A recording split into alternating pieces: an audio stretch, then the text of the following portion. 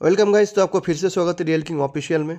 इस वीडियो में हम बात करेंगे जो आज का दिन का थर्ड टी मैच होने वाला है H A W versus C A T के बीच में। इस मैच में हम बताएँगे भाई कौन सा ऐसा प्लेयर है, जो अभी तक तो उतना उखाड़ा नहीं है इस टूर्नामेंट में, लेकिन वो भाई अगर खेलेगा, आपको एक तरफा विनिंग करवा सकता है, ठीक है?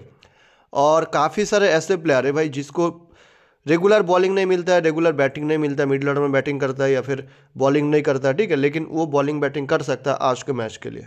क्योंकि भाई देखिए सी ए टी की टीम काफ़ी स्ट्रॉन्ग टीम है ग्रुप टेबल में। अभी फ़र्स्ट पर चल रहा है उनका।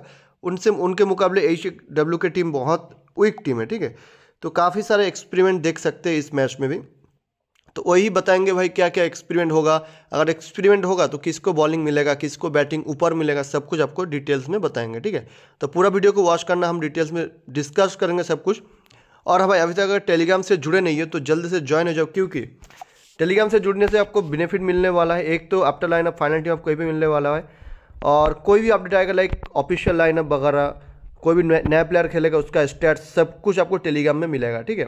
और देखिए जो लास्ट टी टेन भी हमने कवर किया है, वो भी मेगा स्विप हो गया, ठीक है? तो आपको ऐसा विनिंग टीम मिलने वाला है टेलीग्राम में तो टेलीग्राम का लिंक मैं आपको यूट्यूब डिस्क्रिप्शन में दे दूँगा, वहाँ से जाकर आप लोग ज्वाइन हो जाना।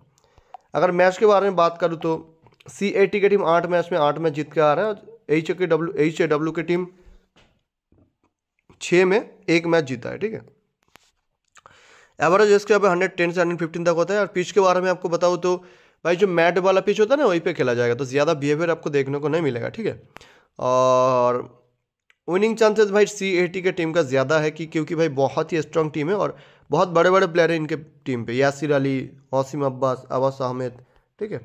तो इस टीम के बारे में अगर आपको बताओ तो यासिर अली बहुत बढ़िया प्लेयर है वसीम अब्बास दोनों ही एक तरीके के प्लेयर है, क्योंकि दोनों ही हिटर बैट्समैन है और दो ओवर कंफर्म कर रहे हैं हर मैच में।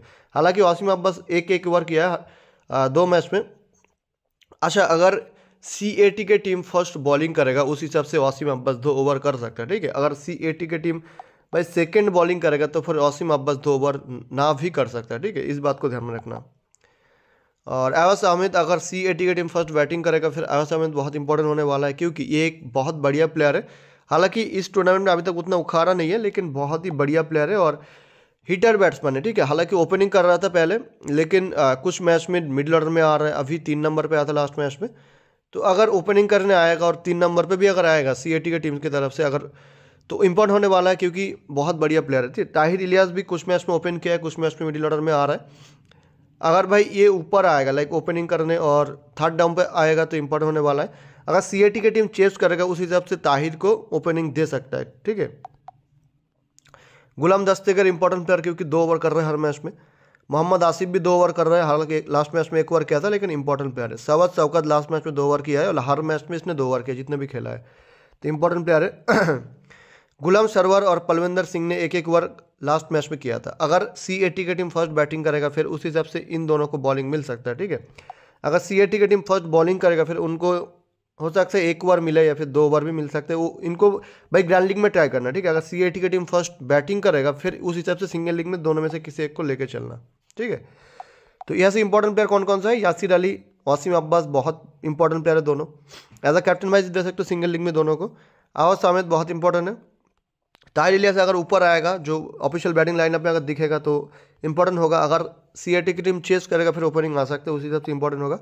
दस तेगर एक इंपॉर्टेंट प्लेयर है, मोहम्मद आसिफ भी एक इंपॉर्टेंट प्लेयर है, सवज सौकत भी एक इंपॉर्टेंट प्लेयर है। और इन दोनों को गैलिंग में ट्राई ठीक है? बेंच पे जो प्लेयर अगर कोई भी खेलेगा, मैं स्टार आपको टेलीग्राम में भेज दूँगा।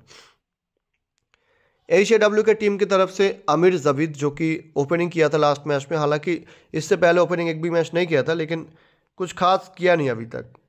जैन असलम बीबी, जो कि दो ओवर कर रहे हैं हर मैच में, साथ ही साथ ऊपर बैटिंग करने आ रहे तो इंपॉर्टेंट होगा। कमरन जिया एक ठीक ठाक प्लेयर है लास्ट चार मैच में इसने दो पारी अच्छा खेला है ट्वेंटी थ्री ट्वेंटी वन तो चाहो तो लेके जा सकते हो, ठीक है?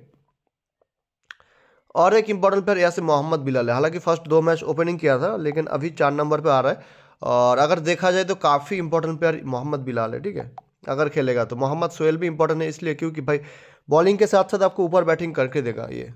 तो ये भी इंपॉर्टेंट होगा मोहम्मद सोहेल। आमिर हमजा भी एक इंपॉर्टेंट प्लेयर है, दो ओवर कर रहे हैं और बैटिंग से भी आपको पॉइंट देगा। सनाउल्ला, जो कि लास्ट मैच में बैटिंग बॉलिंग नहीं किया था, हर मैच में ये बैटिंग बॉलिंग नहीं करता है पार्ट टाइम बॉलिंग करता है तो अगर खेलेगा तो ग्रैंडिंग में ट्राई करना। मोहम्मद उसामा एक इंपॉर्टेंट प्लेयर है, क्योंकि दो ओवर कर रहा है। उमेर मोहम्मद भी बॉलिंग नहीं किया था लास्ट दो मैच से तो उतना इंपॉर्टेंट नहीं है। शायद यूसुफ भी एक एक ओवर कर रहा है हर मैच में तो इसको भी ग्राउंडिंग में ट्राई करना। तो ऐसे इंपॉर्टेंट प्लेयर कौन कौन सा है? इंपॉर्टेंट प्लेयर जाइन असलम बेबी एक इंपॉर्टेंट प्लेयर है। मोहम्मद सोहेल आमिर हमजा एक इंपॉर्टेंट प्लेयर है और उसामा एक इंपॉर्टेंट प्लेयर है क्योंकि दो ओवर कर रहे हैं। और शायद यूसुफ और जो भी प्लेयर है, इनको यहाँ से चार या पाँच प्लेयर को लेना है। पाँच नंबर प्लेयर आपको अगर लेना है तो कमरन जिया, मोहम्मद सोहेल सॉरी मोहम्मद बिलाल और कामरन जिया से दोनों में से किसी एक को लेके चलना ठीक है? तो चलिए, मैच के बारे में पूरा बता दिया। इसका भी अगर कोई भी खेलेगा मैं बेंच पे तो मैं आपको स्टार्ट भेज दूँगा। तो चलिए, अभी डेमो टीम के बारे में आपको बताता हूँ। तो मेरा अभी के लिए डेमो टीम होने वाला है। मैंने विकेट के सेक्शन में टेन टी इलियास को रखा है। और बैटिंग सिस्टम में जेस Aslam Bibi J Aslam Bibi A Javed M Usama और ऑलराउंडर सेक्शन में मैंने M Sohail A Hamza Y Ali W Abbas bowling section में मैंने सहबाज शौकत दस्तेगर और एम आसिफ को रखा है।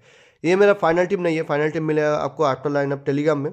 टेलीग्राम का लिंक मैं आपको यूट्यूब डिस्क्रिप्शन में दे दूँगा। वहाँ से जाकर आप लोग जानो जाना तो चलिए फिर मिलते हैं नेक्स्ट वीडियो में।